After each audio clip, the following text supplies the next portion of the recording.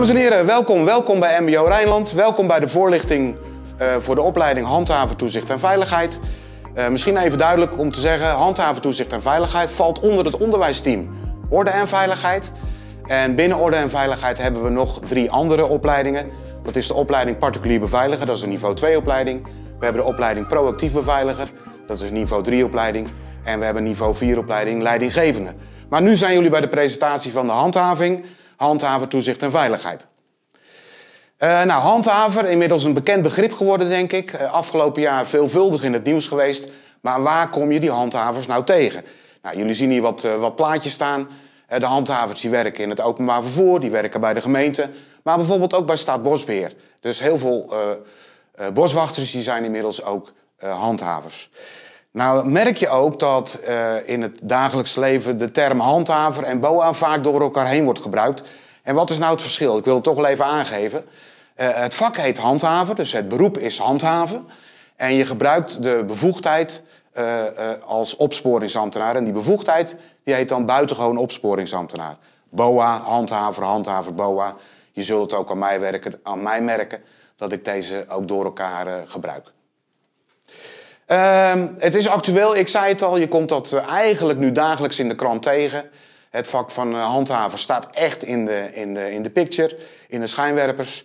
En uh, ja, het is actueler dan ooit en dat merken we ook bij de aanmeldingen. er zijn heel veel mensen die deze opleiding willen gaan volgen. En ja, dus wees er op tijd bij als je er wil gaan starten in ieder geval. Uh, even naar de presentatie die ik nu ga geven, de onderwerpen die ik met jullie door wil lopen. Nou, ik wil praten over de studierichting, opleiding, locaties, iets over de BPV, hè, dat noemen we de stage. Uh, we gaan even kijken naar hoe een rooster er ongeveer uitziet. Wat zijn de verwachtingen? Wat, verwachten wij van jullie? Ja, en wat kunnen jullie van ons verwachten? Natuurlijk ook belangrijk om te weten. Uh, wanneer word je toegelaten tot de opleiding? Hoe zit het met de kosten? hoe ga je aanmelden voor deze opleiding? Zijn er voorlichtingsactiviteiten? Ja, we zitten nu met corona, dus dat is best een lastige. Uh, en uiteindelijk sluiten we de presentatie af met uh, vragen. Dit wilde ik uh, met jullie gaan bespreken. eerst maar even naar het werk van de buitengewoon opsporingsambtenaar. Wat zijn nou de taken van een handhaver, van een BOA? in principe twee taken. We zijn in uniform gekleed. We lopen op straat in het publieke domein. vergelijkbaar een beetje met, met de politie. Uh, en we houden toezicht. En door onze aanwezigheid uh, hopen we dat er geen rare dingen in de stad gebeuren. Wij zijn er met name voor de leefbaarheid. Voor de leefbaarheid in de stad.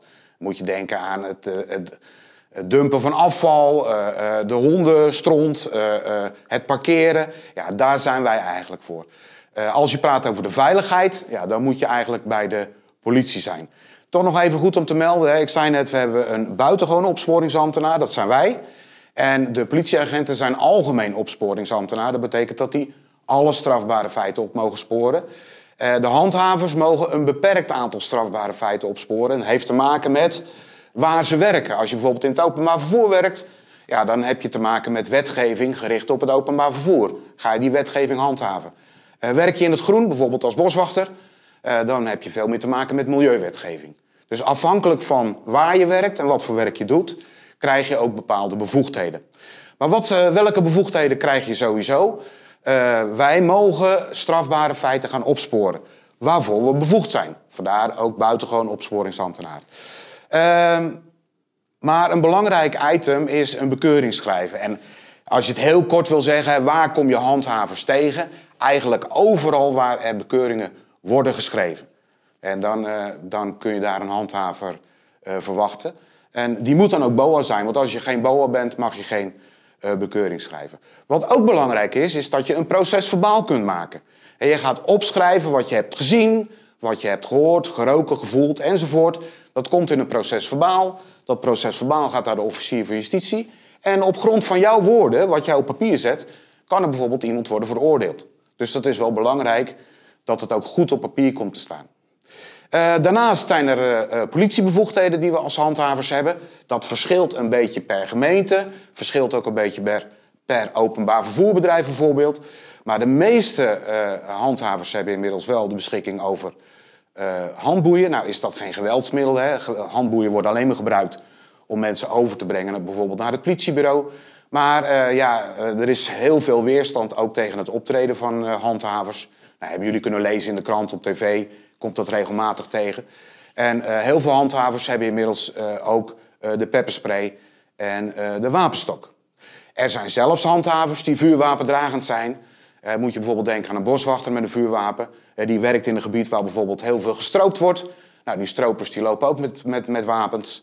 En dan heeft die boswachter ook echt wel de behoefte aan een, aan een vuurwapen. Dus er zijn ook handhavers inderdaad met een vuurwapen. Nou, waarom zou je nou voor onze opleiding kiezen? Ik, ik loop die punten even door, jullie kunnen ze ook zien. Uh, wij hebben de afgelopen jaren steeds een hele hoge vermelding gehad in eh, de MBO-keuzegids. We zijn steeds geëindigd bij de top drie van Nederland. Wij vallen dus onder de drie beste opleidingen van heel Nederland. Nou, dat is mooi, daar zijn we super trots op. Uh, maar we zijn met name trots op onze studenten, op jou natuurlijk. Want jij bent degene die het zometeen allemaal gaat doen. Verder hebben we een heel ervaren en bevlogen uh, team van docenten. Heel veel docenten met een achtergrond bij de politie. en die weten dus precies hoe het gaat op straat. En die kunnen jou daarbij helpen om je ja, misschien ook wat, uh, wat safer te voelen als je inderdaad zometeen in uniform de straat op gaat. We hebben een nauwe samenwerking, nauwe samenwerking met heel veel verschillende handhavingsorganisaties, met name bij de gemeente, maar ook bijvoorbeeld met de politie. We gaan ook regelmatig met de politie samen trainen. We gaan met de politie samen de straat op, bijvoorbeeld voor een voorlichtingscampagne. Dus die, die lijntjes die zijn heel erg kort. Daarnaast, uh, als ik kijk naar de, de, de, de mensen die deze opleiding volgen, dan zijn er toch ook heel veel die de ambitie hebben om door te stromen naar de politie of naar de marechaussee. Ja, en daar past deze opleiding natuurlijk perfect in. wij lopen in uniform op straat. Je krijgt van ons vaardigheden aangeleerd die je ook bij de politie nodig hebt. het lijkt heel erg op elkaar. Ehm, we hebben twee locaties waaruit je kunt kiezen. Uh, locatie in Gouda en locatie in Alphen aan Rijn. De lessen zijn hetzelfde, docenten zijn hetzelfde, want docenten gaan uh, reizen die geven soms les in Alphen en soms les in Gouda. Dus qua locatie maakt het niet uit. Ja, misschien dat je dan een keuze kunt maken op grond van je reisafstand naar school. Nou, dat moet je zelf maar even bekijken. De opleiding is praktijkgericht. We beginnen met theorie. En naarmate we de opleiding vorderen, komen we steeds meer in de praktijk. Want uiteindelijk gaan we jou de straat opsturen. Nou, dat doen we natuurlijk niet zomaar. Daar moet je wel wat uh, voor getraind hebben. Dus we gaan ook met rollen spelen, bijvoorbeeld op school aan de slag. Uh, verder houden we elk jaar een uh, enquête. Dat is binnen MBO Rijnland is dat gebruikelijk. Uh, studenttevredenheid wordt getest, zeg maar, getoetst. Ja, en daar komen we heel hoog uit. Studenten zijn erg tevreden over onze opleiding. Nou, daar zijn we natuurlijk heel erg blij, blij mee. verder kan ik melden dat wij veel persoonlijke aandacht hebben. onze klassen zijn maximaal 20 studenten groot. Nou, je begrijpt als je 20, 20 studenten in een klas zet dat je ook echt wel persoonlijke aandacht kunt krijgen op dat moment. Het is een sportieve opleiding. We proberen bijna elke dag wel te gaan sporten. we gaan werken aan je kracht, aan je conditie, aan je coördinatie. Belangrijk, hè, want als je door wil stromen naar de politie zometeen... Ja, dan moet je ook die sporttest doen. En het zal toch niet gebeuren dat als je bij ons uit de opleiding komt... dat je die sporttest niet, niet haalt. Verder, het ontwikkelen van de beroepshouding is erg belangrijk. Ja, natuurlijk niet alleen bij ons. Dat geldt denk ik voor ieder beroep. Kom je afspraken na, zorg dat je op tijd bent, zorg dat je kleding in orde is. Nou, dat soort simpele zaken. Maar daar gaan we wel heel erg op letten. Uh, doorstromen, nou, ik heb het al gezegd, hè, doorstromen naar de politie en de marechaussee. wij lopen ook op straat in uniform, net als die politieagent. En dat maakt dat heel veel studenten een goede kans maken om ook aangenomen te worden bij de politie. Als je tenminste die ambitie hebt om door te stromen. Uh, nou, goede kans op. Er zijn tegenwoordig heel veel handhavers al aan het werk. Er worden nog steeds heel veel handhavers gevraagd ook. En ja, je merkt dat die politie zich steeds een beetje verder terugtrekt. Hè? En uh, dat wordt dan opgenomen door handhavers. Politie gaat zich echt richten op veiligheid, op criminaliteit. En uh, die plaats wordt opgenomen door, uh, door ons, door de handhavers. Het is een niveau 3 opleiding, dat had ik al verteld. dat betekent ook dat je een vooropleiding moet hebben. En dat je na deze opleiding ook kunt doorstromen naar een niveau 4 opleiding. En de opleiding handhaven, toezicht en veiligheid die duurt twee jaar. Dus dan weet je precies waar je aan toe bent.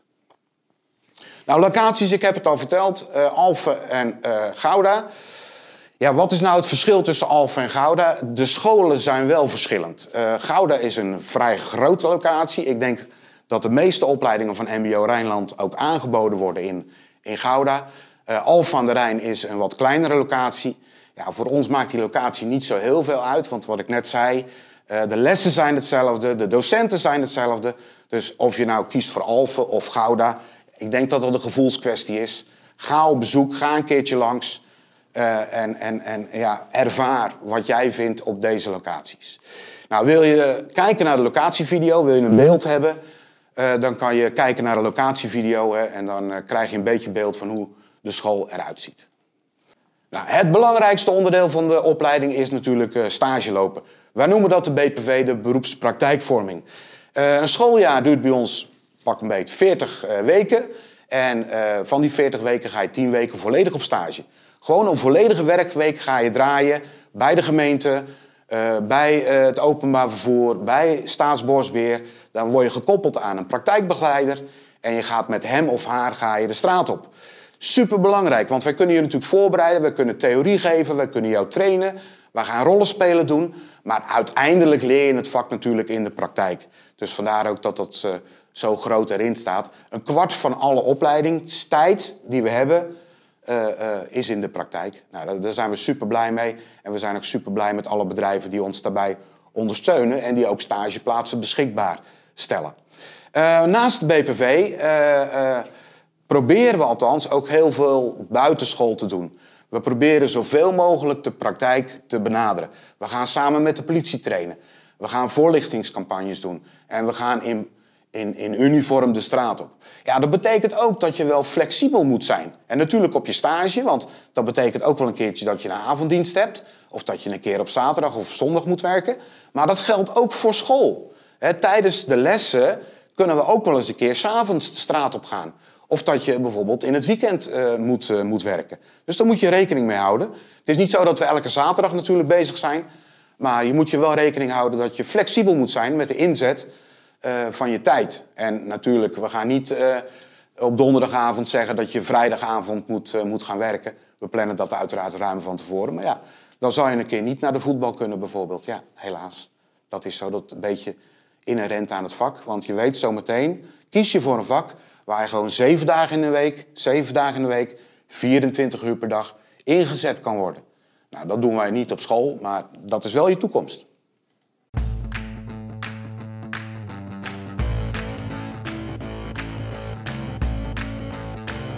We werken al enige tijd, een aantal jaren samen met de MBO Rijnland eh, voor begeleiding van studenten voor de HTV-opleiding. We zien op dit ogenblik in de maatschappij dat er behoefte is aan meer goed opgeleide uh, uh, medewerkers in de totale veiligheidsbranche.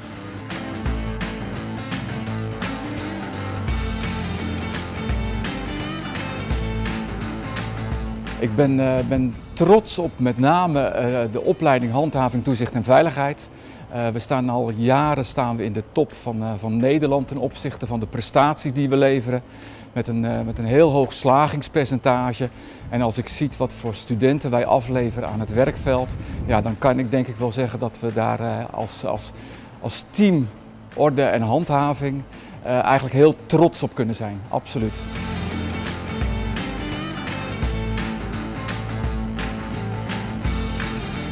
Ik uh, loop nu stage bij de RT. Ik vind het erg leuk en uh, interessant hier om hier stage te lopen. Je mag heel veel zelf doen. Het is uh, bijzonder dat je gewoon nu al de straat op mag en gewoon zelf handelingen mag uitvoeren. Dus dat is echt wel een pluspunt bij de RT wat, wat mij heel veel aansprak om hier stage te gaan lopen. Wat ik studenten in het algemeen meegeef, we hebben natuurlijk een lastige taak. Want soms gaat het echt over fors geld. En mensen een boete moeten betalen. Dat vinden mensen nooit leuk. Maar wat ik wel vind, en dat zeg ik, wees uh, menselijk. Hè? Dus empathie tonen, wel daadkracht, een stukje autoriteit uitstralen, want je hebt uiteindelijk een bepaalde functie. Maar doe dat wel met beleid. Wat ik belangrijk vind aan goed onderwijs, en zeker het onderwijs op het mbo, is dat het gericht is op de praktijk. Dus uh, ik vind het belangrijk dat wij als uh, opleiding uh, de link zijn, de verbinding zijn voor de praktijk. Wij be bereiden studenten voor op de praktijk. En daar moeten we ook goed op aansluiten. En daarin zoeken wij dus ook tijdens de opleiding continu de verbinding met de praktijk, zodat wij onze studenten zo goed mogelijk afleveren voor de, voor de toekomst. Onze opleiding is ontzettend populair. En de reden waarvoor die opleiding zo populair is, behalve natuurlijk zeg maar onze goede cijfers, is dat het veiligheidsdomein heel erg als positief werkveld wordt gezien voor heel veel jongeren.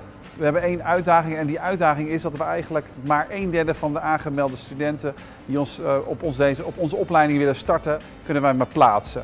En dat is heel erg zonde, want die twee derde moeten we helaas afwijzen.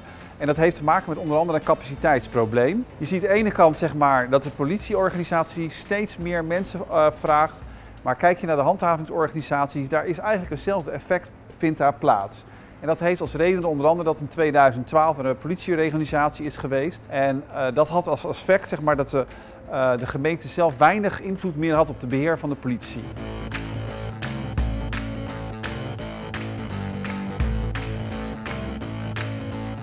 Ik ben uh, regelmatig als operationeel coördinator in, in dienst. En inderdaad sinds korte tijd merk ik dat er gewoon de gemeente extra aanwezig is voor mijn gevoel. Uh, dat komt omdat zij uh, stagiaires uh, in dienst hebben genomen sinds korte tijd. Ik vind van grote meerwaarde dat deze stagiaires er zijn. ze worden inderdaad vrijgelaten door de gemeente om ook klussen op te pakken. Dus de kleine klussen die wij ook als politie binnenkrijgen, kunnen wij vaak naar de gemeente, bij de, de gemeente weerleggen. en je ziet gewoon dat de studenten ook die, die kans krijgen om die klussen op te pakken. Je merkt gewoon dat ook de samenwerking tussen de gemeente en de politie hierdoor vergroot. Uh, iedere dag melden zich netjes in. En um, nou, ze komen altijd bij ons op de lijn als zij dingen hebben. Maar, andersom kunnen we altijd bij hun op de lijn als, uh, als wij dingen hebben. Dus ja, super. De RET is een, een, een, heel groot begrip in Rotterdam. 600.000 mensen per dag vervoeren we. MBO Rijnland die gaf aan van ik heb als studenten, is het een idee om dat naar jullie over te laten komen. En dat idee was eigenlijk wel goed. Hè? Je merkt dat jij te maken hebt met mensen die heel gemotiveerd zijn die weten wat ze willen. Uh, of ze willen naar de politie, maar ze willen in ieder geval een handhavende taak gaan doen. En dat is eigenlijk waarom we met MBO Rijnland natuurlijk dit zijn gaan doen. Ik vind wel dat je de jonge studenten heel goed kan sturen. En die hebben nog geen kennis. Hè? Die denken van wat ik ga zeggen, dat gaan hun ook uh, na. Want hun, ja, hun gaan vanuit dat, dat het goed is.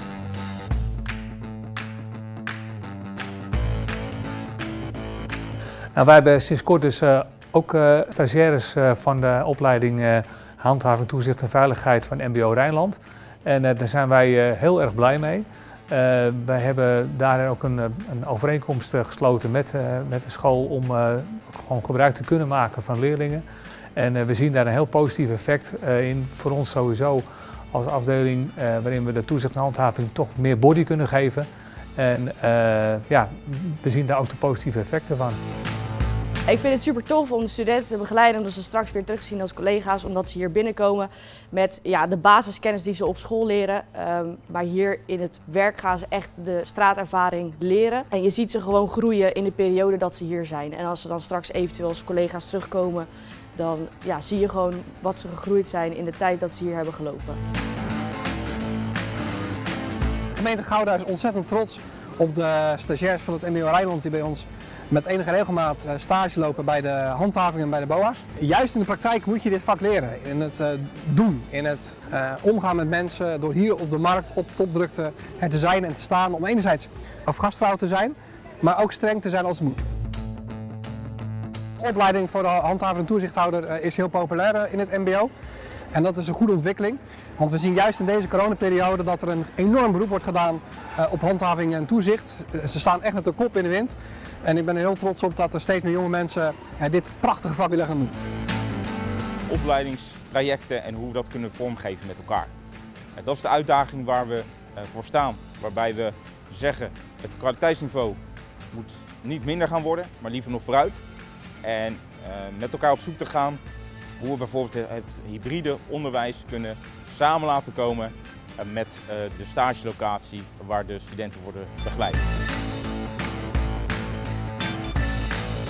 Oké, je hebt net gekeken naar een videootje die is opgenomen bij uh, diverse stagebedrijven. Ik denk dat je nu een goed beeld hebt gekregen van wat wij op straat doen en wat je kunt verwachten als je bij ons uh, stage gaat lopen. Belangrijk om te weten. We gaan verder met de presentatie. Wat voor vakken krijg je? En dat is ook een vraag die we vaak krijgen van studenten. Nou, natuurlijk, het maakt niet uit welke mbo-opleiding je kiest. Je krijgt een aantal, we noemen dat generieke vakken. Nederlands, Engels, rekenen, loopbaan en burgerschap. Dat zit bij alle opleidingen zit dat erin. En loopbaan en burgerschap, ja, in mijn tijd heette dat maatschappijleer. Ik vind het wel een belangrijk vak, want jullie staan zo meteen met beide voeten in die maatschappij. Jullie komen met alles en iedereen, eh, hebben jullie te maken. Dus ja, dat je dan een klein beetje weet hoe het, uh, hoe het geregeld is in Nederland, is natuurlijk super belangrijk.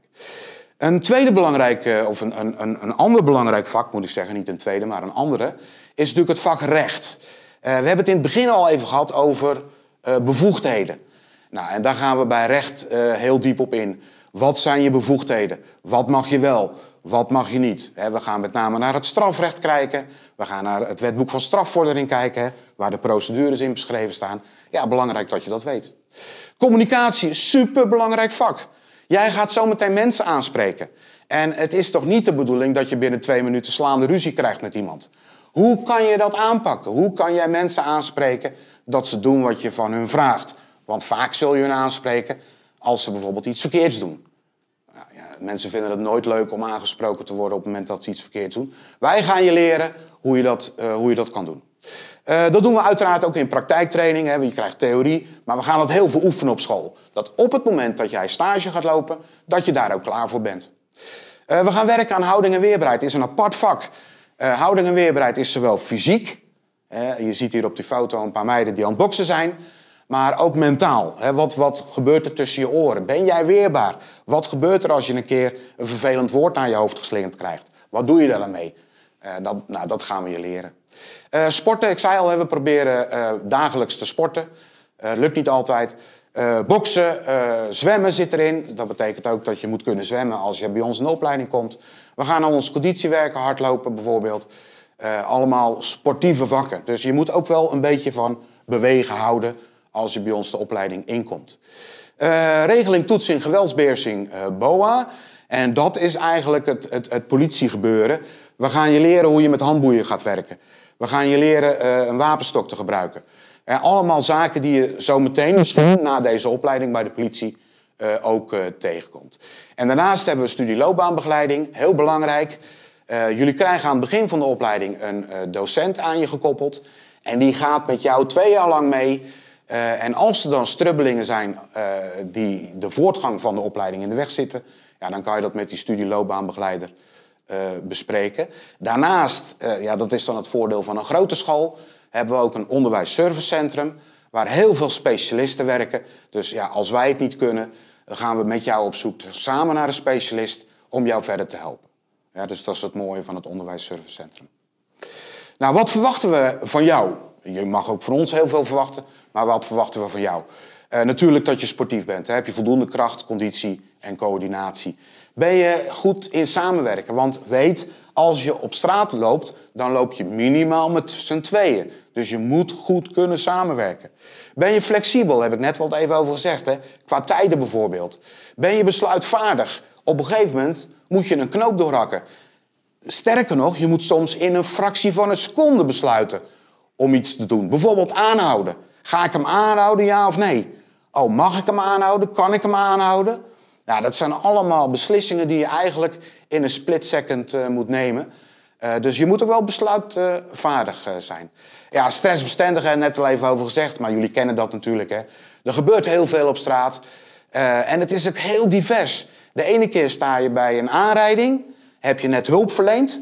En een half uur later sta je bijvoorbeeld bij een mishandeling. Nou, dat zijn twee totaal verschillende dingen. En dat betekent wel dat je ook snel moet kunnen schakelen en stressbestendig moet zijn. En de laatste die je, ah, tenminste de laatste, de, de, de volgende die je ziet staan op de dia, dat is ben je integer. Ja, en daar valt of staat alles mee. Ben je eerlijk? Ben je betrouwbaar? Zeg je wat je doet? Kom je je afspraken na? Ja, in ons vak, geldt denk ik voor heel veel andere vakken ook, maar in ons vak is dat super belangrijk. Als je eenmaal dat vertrouwen hebt geschaad, dan komt dat nooit meer terug. Dus wees daar ook zuinig op, op je integriteit. Belangrijk punt. Uh, en je beschikt over goede communicatieve eigenschappen. je kunt met mensen praten. Je vindt het ook leuk om met mensen te praten, want wij doen niet anders. Wij zijn continu met mensen in gesprek. En als je het niet leuk vindt om met mensen te praten, ja, dan moet je gewoon een ander vak kiezen. Ook prima, maar wij zijn heel sociaal. En je moet een uh, goede motivatie meenemen. Hè. Dat, dat, dat vuurtje proberen wij jou uh, proberen we aan te wakkeren en brandend te houden bij jou. Maar ja, we verwachten wel als je bij ons de opleiding inkomt dat je ook graag wil. En dan kunnen we jou uh, verder helpen naar een mooie toekomst. Nou, die toekomst die zie je staan op die ene foto. Hè. Twee meiden die geslaagd zijn, een prachtig diploma. En ja, die kunnen verder. toelating, belangrijk om te weten. Je hebt een VBO-kaderdiploma minimaal nodig. Heel veel studenten die bij ons in de opleiding zitten, ondanks het feit dat het een niveau 3 opleiding is, hebben een MAVO-diploma. En want die hebben bijvoorbeeld de ambitie om door te stromen naar de politie. Die zijn nu nog te jong. En die zeggen van ja, maar dit is wat ik graag wil. En dan, uh, ja, dan zul je merken dat er heel veel mensen om je heen een MAVO-diploma hebben. Bijvoorbeeld ook al een HAVO-diploma hebben. Want die komen gewoon bij ons omdat ze graag in dit vak willen werken of willen doorstromen naar de marechaussee of naar de politie. Uh, Nederlandse nationaliteit heb je nodig. Als je wilt doorstromen naar de politie, moet je Nederlander zijn. Een verklaring omtrent gedrag. Je mag geen crimineel verleden hebben. Dus geen veroordelingen, vernieling, mishandeling, uh, dat soort zaken. Ja, dan houdt het eigenlijk op bij ons. Want als je stage gaat lopen uh, bij bedrijven, die accepteren dat niet. dat jij een crimineel verleden hebt. Dus je moet een verklaring omtrent gedrag kunnen overleggen. Verder moet je kunnen zwemmen. Er staat hier, je moet zwemdiploma A hebben. Nou, dat wil ik niet zo scherp stellen. Maar we gaan een half jaar lang met jou uh, zwemmend redden. Dat betekent dat we jou gaan leren hoe je iemand op een fatsoenlijke manier uit het water kan halen. Ja, we hebben geen tijd om je te leren zwemmen. Dus je moet echt kunnen zwemmen. En uh, ja, we zitten allemaal in een waterrijke omgeving hier. Dus het is belangrijk dat je mensen ook uit het water kunt halen op een fatsoenlijke manier. Dus zwemmen. De kosten, nou, dat is een minder, uh, minder plaatje dit, maar toch wel belangrijk om te vermelden. Je moet rekenen op zo'n 800 euro wat je kwijt bent aan deze opleiding. Moet je denken aan het uniform wat je moet aanschaffen, uh, boeken, uh, licenties, dat soort zaken. En voor twee jaar moet je rekenen op 800 euro. ben je 18 jaar en ouder, ja, dan moet je ook nog schoolgeld gaan betalen. Maar dat geldt voor alle opleidingen. En dat verschilt een beetje per jaar, maar dat is zo 1200 euro. Dus ben je 18 plus, ja, dan moet je er ook nog rekening mee houden dat er nog 1200 euro schoolgeld bij komt. Nou, wil je aanmelden? Je bent natuurlijk enthousiast geworden na het zien van deze video. Wil je aanmelden? Ga naar de site van het uh, MBO Rijnland. Ja, kun je je aanmelden. We zijn ook actief op, uh, op sociale media. denk aan Facebook, Instagram. Dus als je daar nog wat meer informatie wil halen, dan kan dat. Weet dat onze opleiding start in september. Zorg dat je op tijd bent. Het is een opleiding die gewild is. heel veel mensen die melden zich aan. Ja, en op een gegeven moment is die toch vol. En het zou natuurlijk vervelend zijn als jij een keuze hebt gemaakt... en je krijgt dan te horen dat de opmelding vol is. wil je nog verder verdiepen? dat kan. Je kunt altijd contact opnemen met school. Er zijn diverse voorlichtingsactiviteiten... Uh, ik verwijs je eigenlijk het, het, makkelijkste naar onze voorlichtingskalender. Voorlichtingskalender. Die staat ook op de site van MBO Rijnland. En dan kun je zien wat er nog allemaal komt. Je kunt proef, proefstuderen. We hebben open huizen. Uh, er zijn momenten genoeg waarop je je kunt ja, verdiepen zeg maar, in de opleiding. en we kunnen je daar ook bij, bij helpen. Nou, mochten er nog vragen zijn, dan kun je altijd contact met ons opnemen. Mijn naam is Arie Anker. Je kunt een eh, e-mail sturen naar mij en dan worden je vragen beantwoord. Je kunt het ook doen via de geëikte kanalen, via MBO Rijnland of via de sociale media kanalen. Daar kun je ook je vragen stellen en dan nemen we zeker contact met je op. En nou, wij kijken er erg naar uit om elkaar een keer in levende lijven te ontmoeten. En heel veel succes. mocht je nog examen moeten doen, wens ik je ook heel veel succes met je examen wat komen gaat. En nou, hopelijk zien we elkaar snel. En bedankt voor je tijd en je aandacht.